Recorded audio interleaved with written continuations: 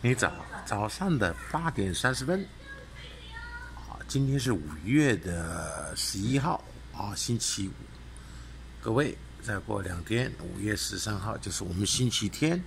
那星期天是这个母亲是我们的母亲节啊，这个星期天母亲节。那我们看看，我们在这边祝全天下母亲平安、健康、开心，全天下伟大的母亲。平安、健康、开心，各位，幸福是自己找的，啊，全天下的母亲都要找到自己的幸福。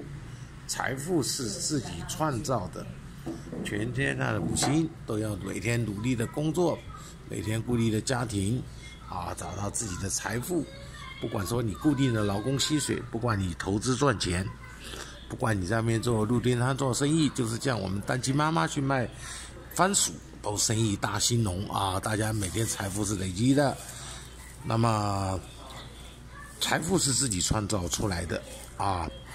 我们轮椅记者呢，我都已经是一个残障的人了，在这边祝啊，燕国荣代表我们啊全体的职工，因为我报社现在请不起员工，都是职工，庆祝啊大家成功啊！母亲节啊，这是一个很感念的，每个人都有母亲啊。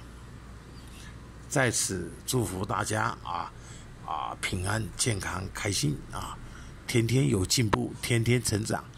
跟着轮椅记者，你面对人生的挫折，通通不一样。四年半前我是个正常人，那我就做正常人的事情。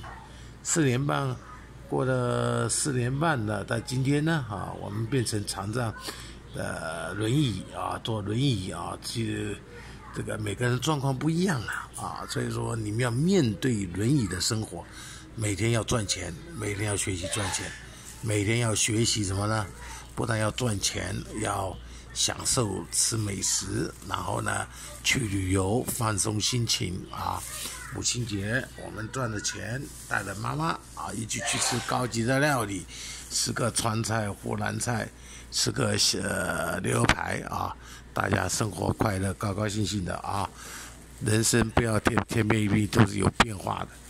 OK，啊，跟着轮椅记者，每天过着赚钱啊，过着吃美食、去旅游的好日子。有问题打电话来。